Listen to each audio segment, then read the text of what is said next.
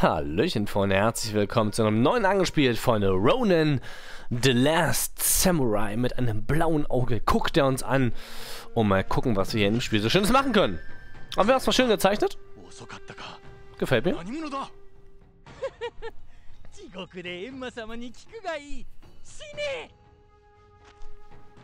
Tipp und halt die Blocktaste, um gegnerische Angriffe abzuwehren.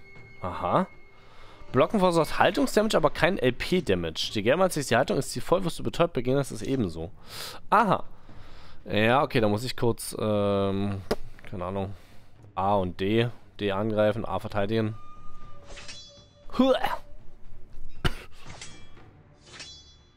Die Crit-Rate erhöht sich bei Angriffen auf betäubte Gegner. Hau ab.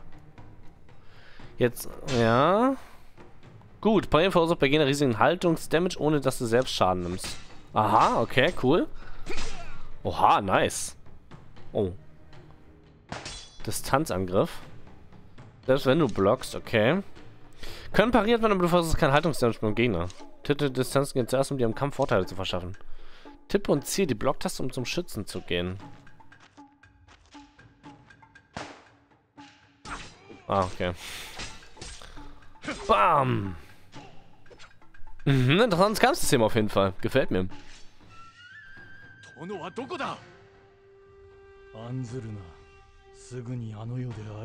Er wurde getötet. Einige Gegner setzen schwere Angriffe ein. Kurz, kurz vor diesen erscheinen spezifische Zeichen. Vorsicht, tipp die Blocktaste.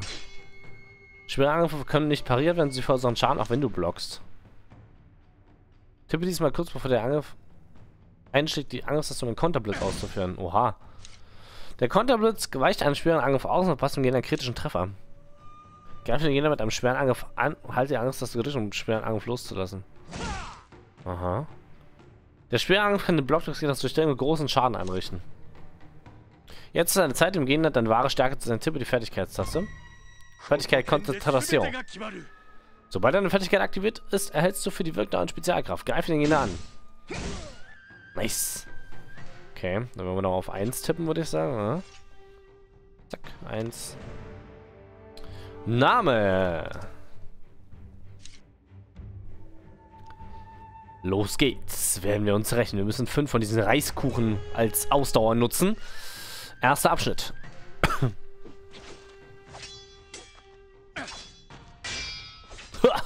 Keiner hat eine Chance gegen mich.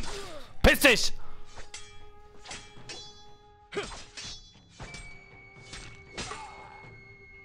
Muss ich was einsammeln? Ne, perfekt. Wird alles automatisch mitgenommen. Oha, wie cool ist das denn bitte?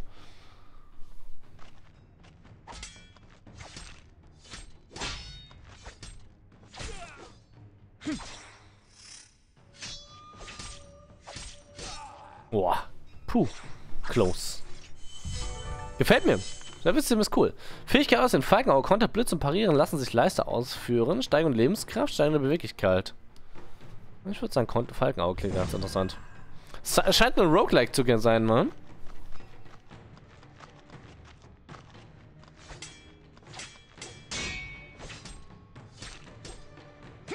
Ist bei der da weg? Perfekt.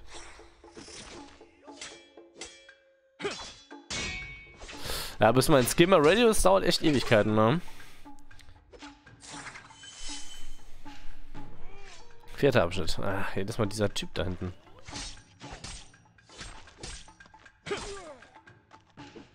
Ah, stimmt, ich kann auch einen Schweren-Attack machen, nice. Aua, ich habe zu viel Leben verloren.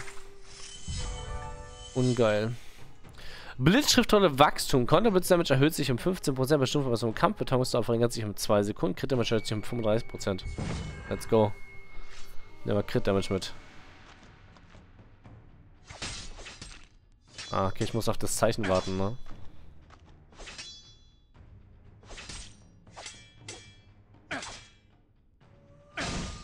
Oh, ist aber close, ey. Wahrscheinlich einfach nur Spam, ne? Einfach Spam. Verhüllter Vagabund. Vampirschwert. Fügst du einem Gegner Schaden zu, wenn deine LP um 5% des ausgeteilten Schadens wiederherstellt oder Hingabe.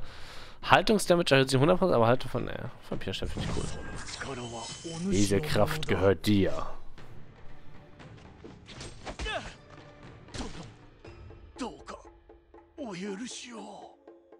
Na, das war jetzt irgendwie nicht cool. Mann, ich hatte so eine schöne Waffe. Ah! um starke Gegner zu besiegen, ist Training nötig. Berühre die Taste Training, um mit dem Training zu beginnen. Ah, das hat was von äh, Archero. Eine Fähigkeit kann zu Beginn des Kampfes ausgewählt werden. Mhm. Tägliche Teilnahme, ja mit. Sondermission, ja mit, ja mit, ja mit. Aha, aha, aha. Auswahl großer Rüstungen. Vagabund-Tunika.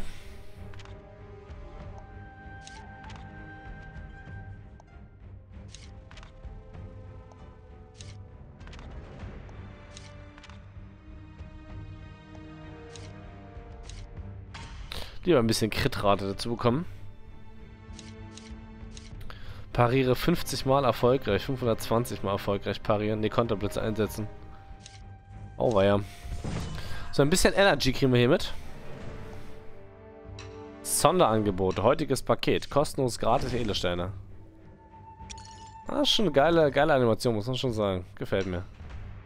Dann muss ich über Werbung gucken. Kein Bock drauf.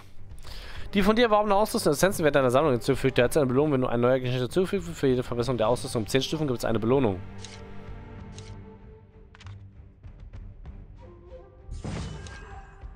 Wie? Ich krieg echt Angriff dazu, ja? Aber wo Angriff? Auf die Waffe? Nee, ne? Allgemein wahrscheinlich. Angriff plus 10. Aber nicht für die Waffe, oder? Nee. Also jetzt mache ich immer grundsätzlich immer mehr Schaden, ja? Müsste ja irgendwo stehen, meine Stats. Mhm. Stehen meine Stats hier irgendwo? Ronin. Hier, 150 Angriffe. Ja, nice. Rüsten wir mal aus, das Ding. Gehen zum Training. Und werden das nochmal nutzen. LP um 125. Ah, Geh weg. Heilige Schriftrollen, die ich gerade bekommen habe als Belohnung. Ja?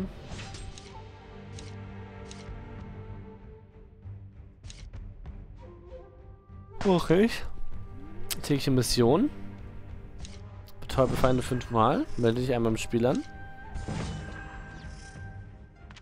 3000 Gold gibt es dafür. Oh, nehme ich mit.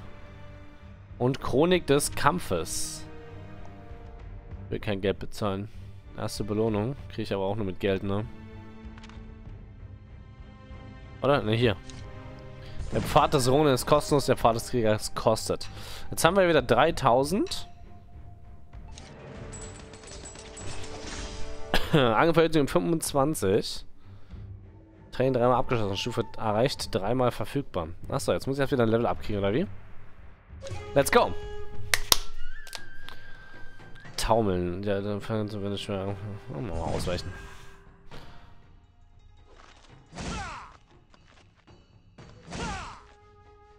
Ich weiß nicht so genau. Ich mag gerade diese Schützen, mag ich halt überhaupt nicht, ne? Die gehen mir super auf den Sack.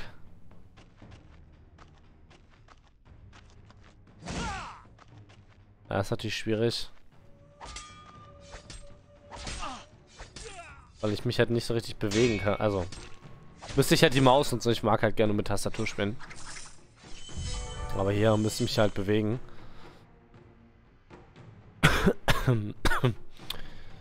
Äh, sollten wir mal betäubt werden, wird es etwas verringert.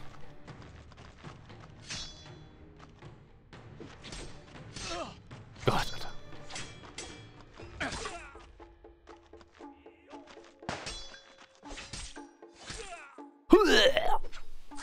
Weg mit dir, du Lappen. Abschnitt 4. Er hat doch einen schweren Angriff, ne? Ne, hat er nicht.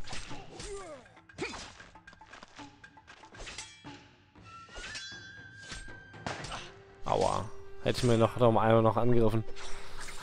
Dann wäre er betäubt gewesen. Appearance um 30%, Krit wahrscheinlich um 35%.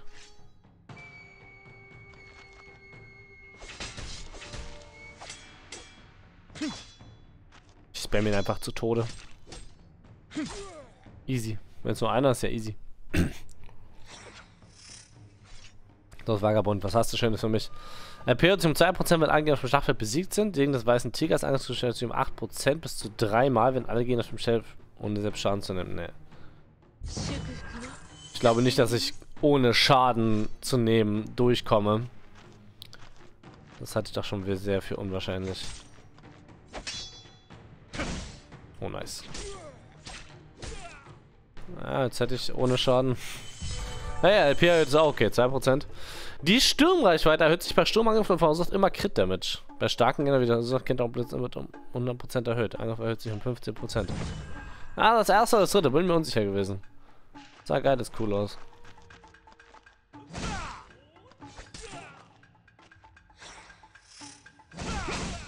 Boah, aber schön mit dem Blitz hinterher. Geile Sache. Abschnitt 8. Ich will erstmal zu dem da. einfach, einfach einmal dem Messer gepiekst. Ah, Mist. Hat er mich doch angegriffen. Jetzt sind wir 850. Wir waren gerade bei 802, glaube ich. Ermöglicht eine Wiederbelebung. Auch nicht verkehrt. Ein kleiner Revive, falls wir sterben sollten. Ah. wir können drücken, oder was? Aua.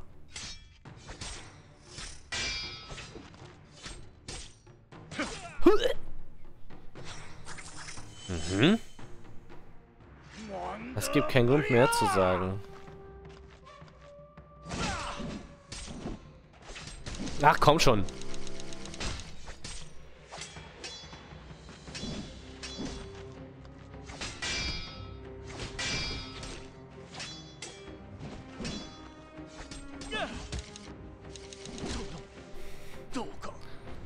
Oder Alter, was der für einen Schaden macht, der Dude.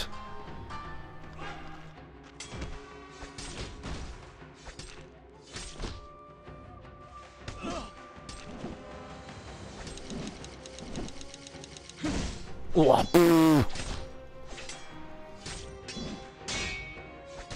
Nice, komm, töte ihn jetzt.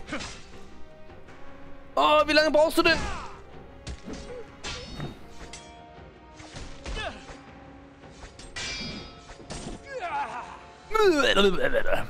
Wir können unseren Skill halt nicht nutzen, ne? Der Geist des Gefangenen kann von Hass erfüllt. Es kann nur durch den ersten Sieg über einen gestarken Gegner erlangt werden. Kann zur Verwirrung von Meisterschaft verbraucht werden. Max-Stufe erhöht sich um 2 und EP-Gewinn erhöht sich um 60%. Na, ist doch gut. Nächster Abschnitt. Wie oft die mich jedes Mal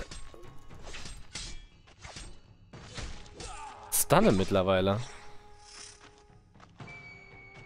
Pix! Ich hab den mit dem Konter irgendwie noch nicht so richtig raus, ne? Was, wenn ich hier drauf drücke? Passiert doch nichts, ne? Das geht. Ich muss schon... Muss schon warten, bis ich gemaxt bin.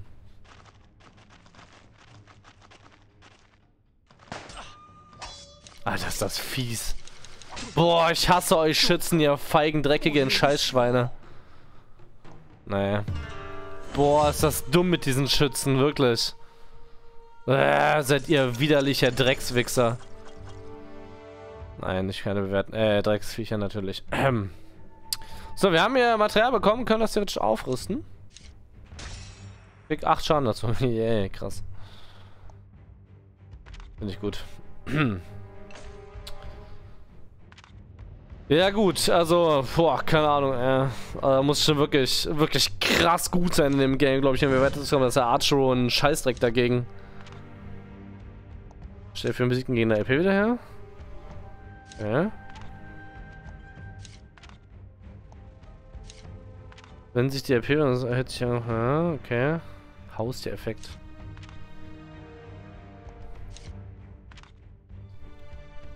Ah, ich finde das hier gar nicht so verkehrt. Ziehen wir es gleich mal an.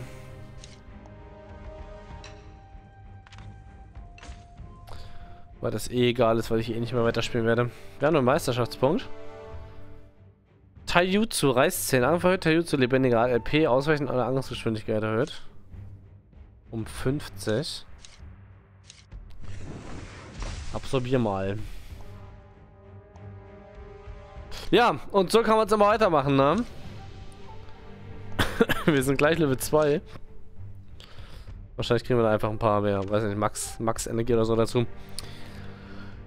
Wir werden es nicht erfahren. Wir müssen bis zu 20 Abschnitten kommen, um Kapitel 1 abzuschließen. Das ist heftig. Da muss man, glaube ich, schon äh, ordentlich... Achso, und ich kann natürlich durch, ähm, durch Level 2 dann mehr trainieren, ne?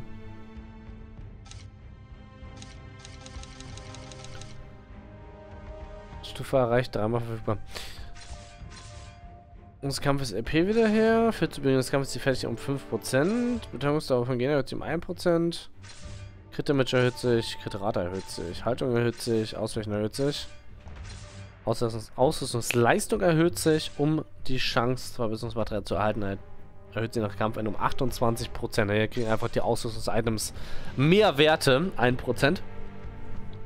Ja, also an sich ist das Spiel, also sieht schon interessant aus, aber wahnsinnig schweres Kampfsystem. Holy shit, vor allem diese ekelhaften Sniper jedes Mal, die dich interrupten, wenn sie Bock haben. Das gefällt mir gar nicht. Außer Verbesserungsmaterial. Ich kann nicht auswählen. Okay. Kann ich von einem nicht irgendwie 10 nehmen? Ist irgendwie einfacher, glaube ich, oder? Naja. Meine lieben Freunde, das war's gewesen mit Ronin, der letzte Samurai. Danke für den Vorschlag. Interessantes Game, aber halt super, super, super schwer. Und da würde ich vermutlich eher lieber Archer oder ähnliches spielen. Äh, statt diesem Spiel. Wenn es trotzdem gefällt, das Style ist halt echt cool, ne? Dann zieht es euch gerne rein, gibt's kostenlos im Play Store und bis zum nächsten Mal, Leute. Ciao, ciao!